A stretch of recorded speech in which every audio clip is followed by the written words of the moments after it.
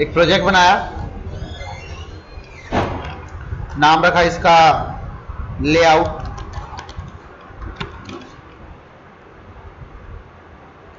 Layout project के अंदर मैंने एक फ्रेम बनाया। ठीक है? फ्रेम पैकेज का नाम रख लिया, पैक। फ्रेम का नाम रख लिया, डेमो।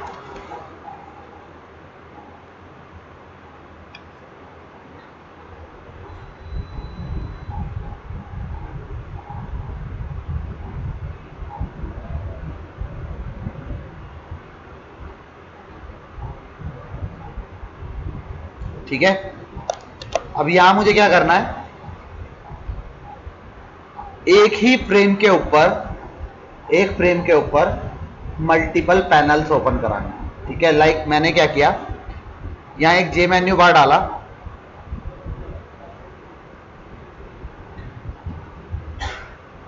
ठीक है? मेन्यू बार डालने के बाद कुछ बटन ऐड कर दिए यहाँ पर। ज़रूरी नहीं है आप मेन्यूज ऐड करो, आप बटन भी जे मेन्यू में ऐड कर सकते हो। ठीक है? यहाँ मैंने बटन उठाए। एक बटन डाल दिया, उस पर लिख दिया मैंने। पिंक। एक और बटन उठाया। इस पे लिख दिया मैंने। ब्लू। एक और बटन उठाया। इस पे लिख दिया मैंने। रेड एक और बटन उठाया। इस पर लिख दिया मैंने। ग्रीन ठीक है? तो मैंने इस तरीके से चार पाँच चार बटन बना लिए। ठीक है? अब इसका मेरा लेआउट कैसा है? बॉर्डर दिख रहा है अभी आपको? आप क्या करो, इसका लेआउट चेंज करके इस बार कार्ड लेआउट कर दो। ग्रुप की जगह लेआउट इसका कार्ड कर दो। ठीक है? अब कार्ड लेआउट की क्या फंक्शनैलिटी होती है? जैसे कि मेरी एक नोटबुक होती है, और नोटबुक के ऊपर मैं पन्ने चेंज करता रहता हूँ। वही मुझे काम करना कि फ्रेम मेरा यही रहेगा, जिस बटन पे क्लिक करूँगा, उसके अकॉर्डिंग पैनल चेंज हो जाएगा इसी लेआउट के ऊपर। ठीक है? तो अब इस पे काम करने के लिए आपने क्या किया नेक्स्ट ये पैनल आपको शो हो रहा है पैनल के लास्ट टाइम भी बताया था पैनल बनाने के लिए। ठीक है? पैनल उठाया और आपने ये कंटेंट पेन पे डाल दिया। एक पैनल, दूसरा पैनल, तीसरा पैनल,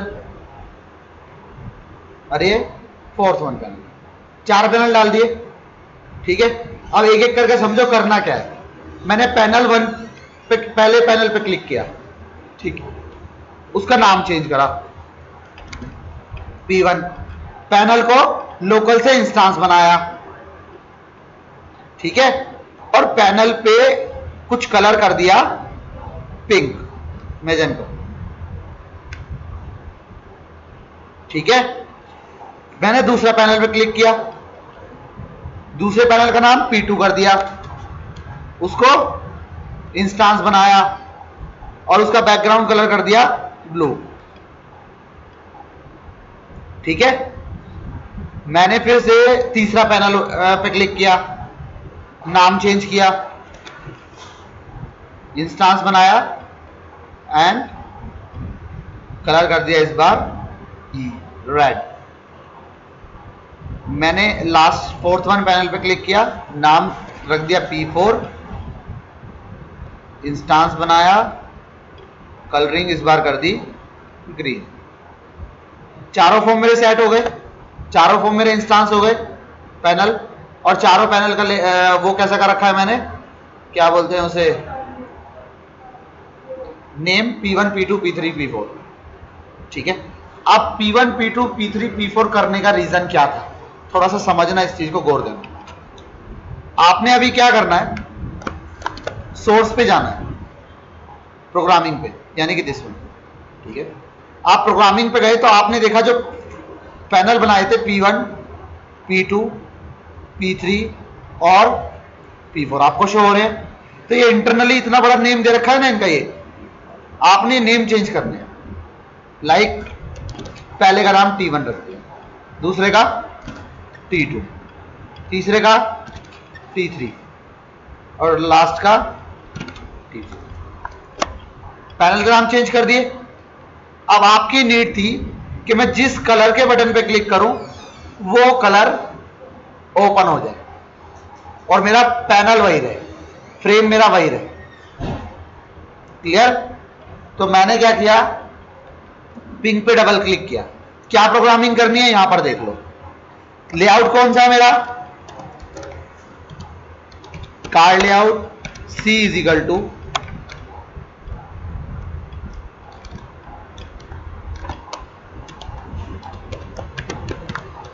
car layout ठीक है?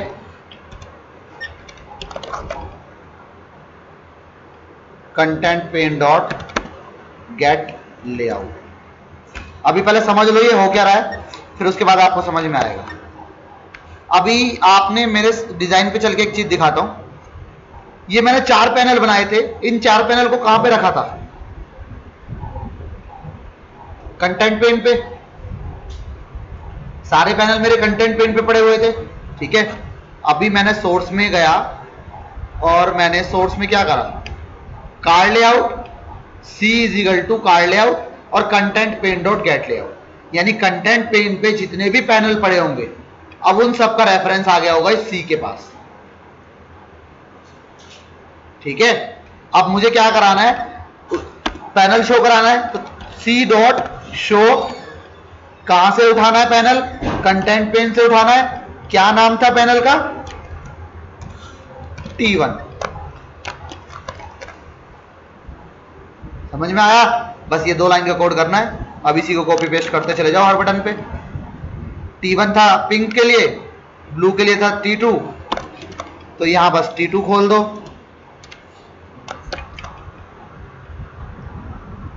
रेड के लिए था T3